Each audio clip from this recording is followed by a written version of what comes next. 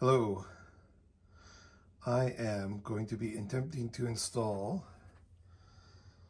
a set of Ghost piezo pickups into a Godin radiator guitar. Because I couldn't find very much information anywhere else on how to do this, I'm going to video it, see if it helps anyone else.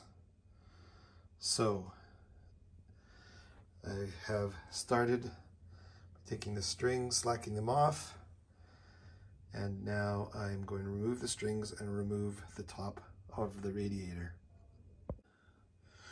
Okay, you can see I have the strings off. And the neat thing about the radiator is this whole solid top comes off. So next I'm going to try taking off the bridge and removing the top. Okay, I have the screws out and there's a lot of them. And what I remember from other videos is I think you also have to take the bridge off before you can get the top off. That's what I'm going to try next. So, bridge is now off. And the neat thing about the radiator is all the other parts are attached to the top. So I think I should be able to somehow slide this off, attempting that next. Of course, to slide it off, I had to countersink the pickups to below the level of the faceplate. So I've done that with the screws beside each pickup. Now, to see if this works. Progress update. After loosening the back of the neck and sinking the pickups, which I realized I didn't need to do, I realized I had to take off the little radiator badge. That sat right there. Don't know if you can see the holes. Anyway, I took that off and now I believe this will slide off fairly freely. Maybe not. Success. Okay, so for the record, I did not have to countersink the pickups. And I probably didn't also have to loosen the neck. I had to take off the radiator badge. But you can see the inside of the radiator, which is why I thought it would make such a cool um, guitar to put piezos in, is it's cut away. Except for the bridge section. I'll try to get that glare out of there.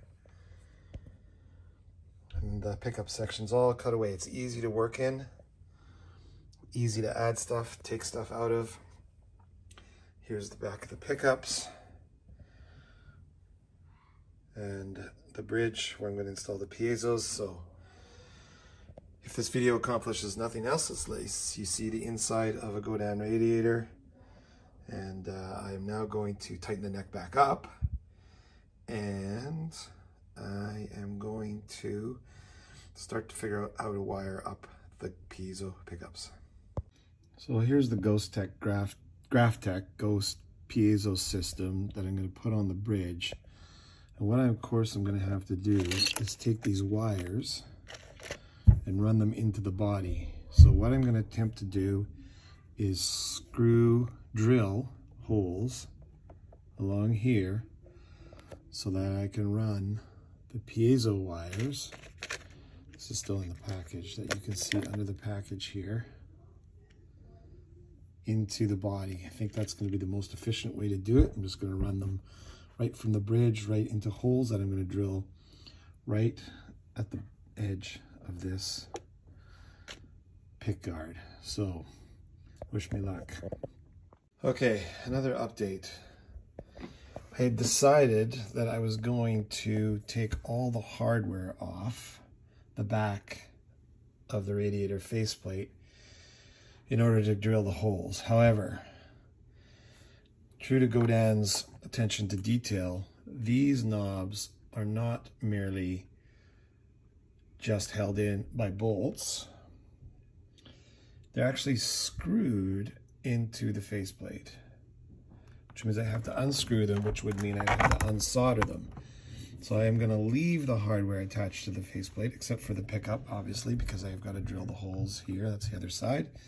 But I am going to unsolder the jack since I am replacing the normal standard quarter inch jack with a stereo jack because that's how I'm going to run the piezo from into the tip and ring sleeve of the quarter inch jack when I get there.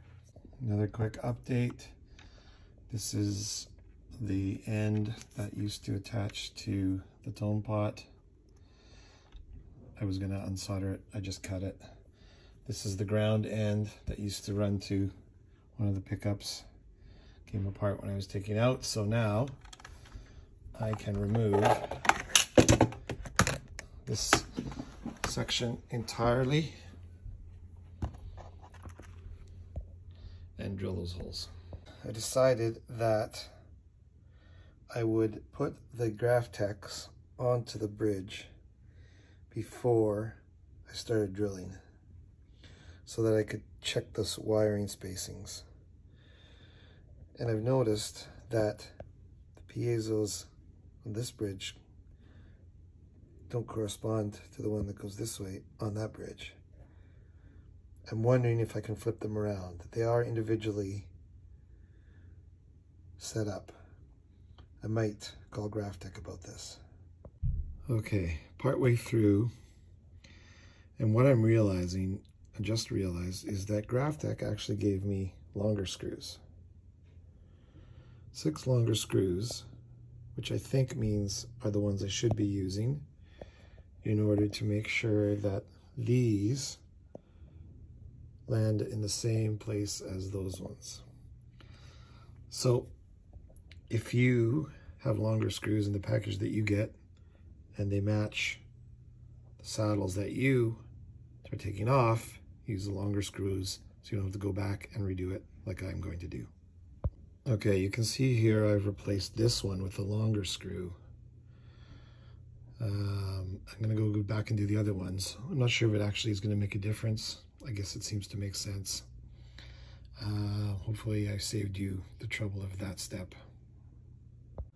Right, okay. Other than the halfway mistake of maybe using shorter screws and not sure if the saddles are need to be switched around, you can see I've got the Graph Tech Ghost piezos installed on the bridge now.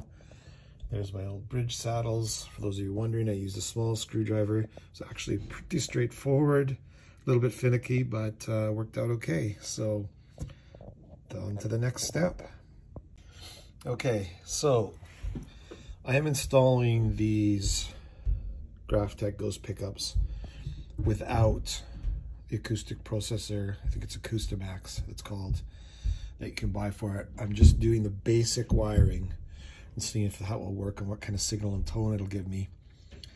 Um, so here's the package. I'm gonna have to replace the uh, output jack the stereo output jack, which you came, uh, which comes in this package. This is the $40 basic installation package.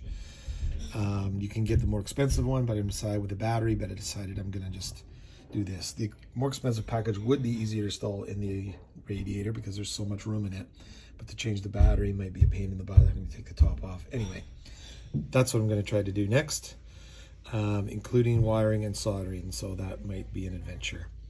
Back in a bit. Okay, here is the wiring I am attempting to use, the wiring process. This is from Graph Tech's uh, installation manual. I'm using the passive volume kit. I'm not using the Acoustiphonic or the Hexaspander processor. And these are the parts that they recommend. So I have the summing board, which is this little part here which will plug my wires in. Then I should have also a ground wire, which I do. I think that's going to be this potentially. I have this wire, which is my signal wire, which is that one. And then I have this is my tone jack, which I will then proceed to wire into this stereophonic plug right, here we go. So I'm putting the piezo volume in the tone control pot space of the radiator, which is the last one. So I'm going to replace this, try and take this out. This is the back side. This is the current tone pot. Uh, and because, like as I said, Godin seems to have done a really good job of installing these. So they're hard to get out. I think I am going to cut the wires to the tone pot. I don't need them. Then I'm just going to remove that tone pot because I think I have to unscrew it. There was a ground wire on that tone pot that I saved because I presume I'm going to need to ground wire the volume pot or there's all these electronics somehow. Not great electronics, so we'll see how this goes. What's really hard to understand from this diagram, plugging in directly, is what you're supposed to do to plug these piezo leads into the summing board. So what I've done is I have plugged them in, as you can see, running to, in order, ideally, to the right connection here. And now I think I'm going to have to take this and plug that into the board, which is kind of what this shows, but doesn't say. And then I guess I'm to have to take that signal line and run it somehow to the volume pot. Not as clear as it could be, Graph Tech. Okay, you can see here I've tried to emulate that. There's my saddles, there's my wiring, there's my summing board. There's a cable coming out of the summing board, which I'm presuming could be ground or signal. When you look at this, where does the signal come from and where does the ground from? Oh, it's not really clear. Not really sure how to get a signal out of this based on this. We'll see. Okay, so after calling Graph Tech, which was super quick and easy, and I got right through to somebody in service, what I'm doing is taking the, I'm going to cut the end of this so that I have two separate wires.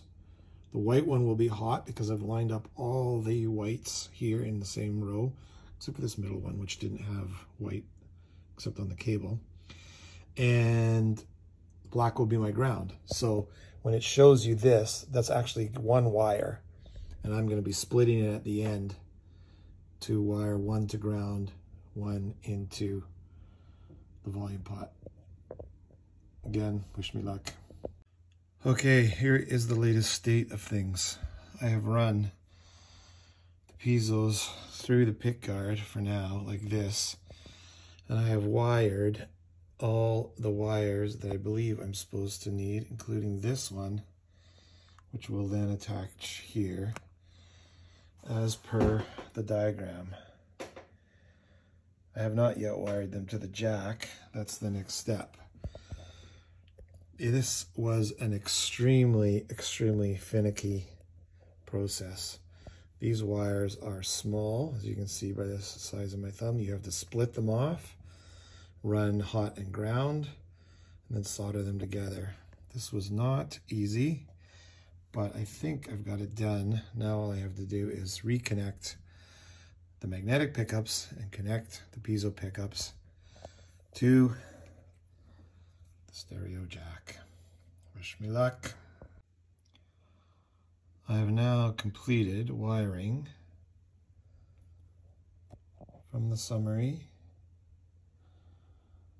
to the pickup or the uh, volume pot from the volume pot to the jacks to the jack I don't know if I've actually gotten left enough wire for the jack to go in back into the body but uh, we'll figure that out. All I have left to do now is rewire the magnetic pickup. And unfortunately, for advice, you should remember where you cut those pickups off so you can remember how to wire them in, which I didn't do, so I'll be figuring that out next. Okay, one more update. As you can see, I've got a wire from the magnetic uh, volume pot that will run to the input jack. But the ground on this wire, which comes from the ground here, is not There's no spot for the ground on a tip ring sleeve. Normally you might ground on the sleeve. This time the sleeve is occupied. So I'm going to take this ground and I'm going to run a ground from here to here. Apologies, my soldering is not the greatest. And see if that will help. And I'm going to leave this ground wire bare. And when we come back, everything should be wired in. Well, all right. I think everything is wired. And although that's the ground, I don't think it's grounded on the other side or not wired in on the other side. So see if that works. I'm very worried about this wire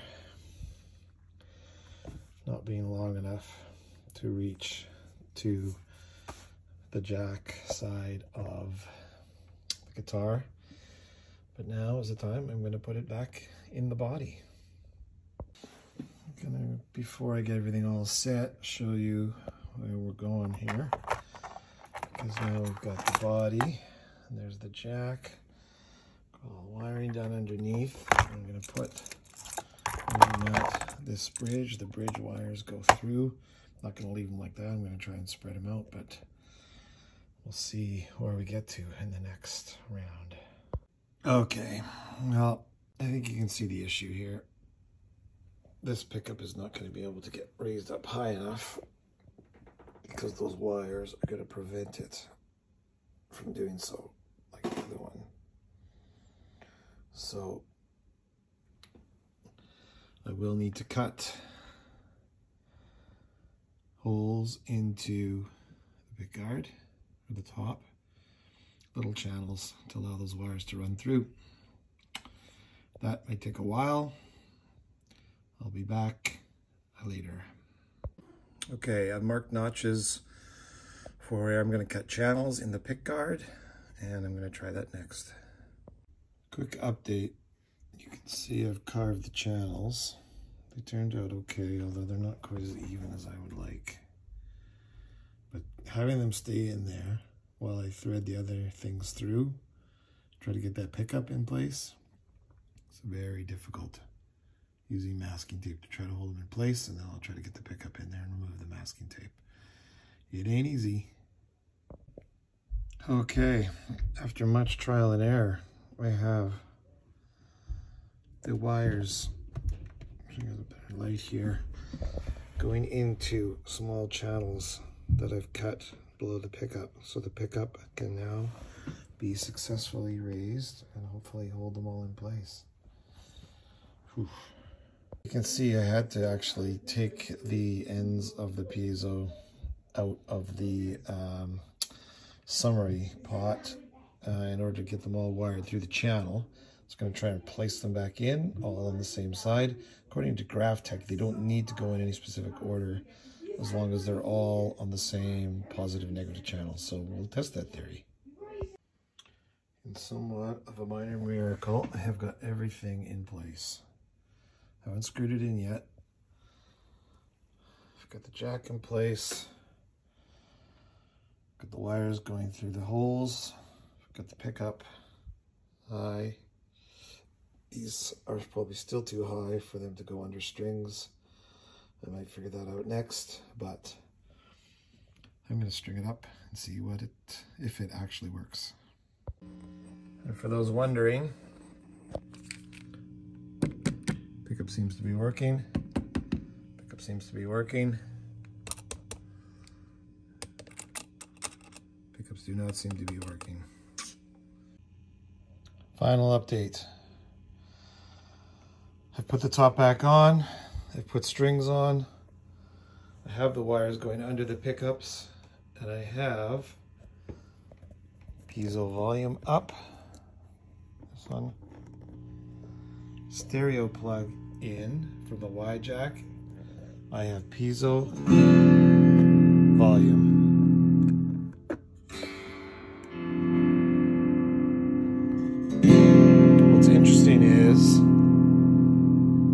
stereo jack splits it if I want to simply run the regular pickups and I'll show you they work. I have those still. I'll have to run those out, but that was as I was planning to. to a separate pickup. But I have it all. As it was supposed, as it was meant to be. So, hope that gives you some encouragement. It is doable. Do it yourself. Thanks for watching.